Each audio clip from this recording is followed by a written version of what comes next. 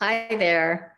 In this short video, we're going to answer that question, why you might choose to move with Qigong rather than Tai Chi or vice versa.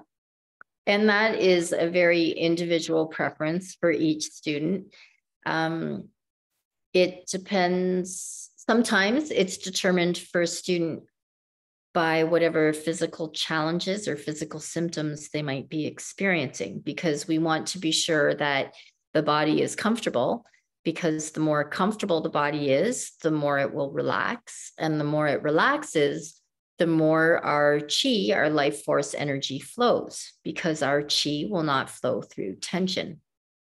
Qigong is more straightforward. Uh, we'll always more or less be facing each other.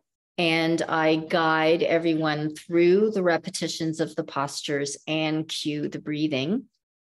Tai Chi, because we face different directions, we transfer weight from one foot to the other, um, and moving from one position, flowing into the next and the next requires more repetition in the early learning stages. Uh, definitely more patience because it requires more repetition. And um, is more suited to people who find that being stationary doesn't suit them. They need a little bit more movement.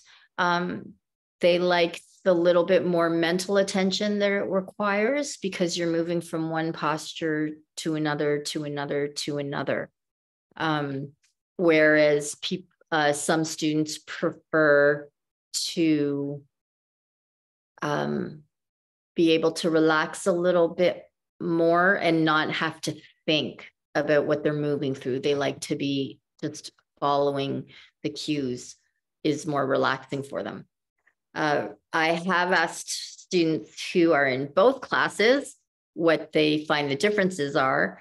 And what they've come back with is that they find with Qigong, they feel more of a release and um, an invigorating and enlivening of their energy. With Tai Chi, they feel that there's more of an allowing to bring in relaxation and it's a calmer a calmer um, relaxation rather than an invigorating relaxation and a release like qigong they find that the tai chi is a deeper relaxation in a calmer in a calmer way. And the tai chi as i mentioned in the previous video is more of an allowing than an intentional moving of energy. And that's about it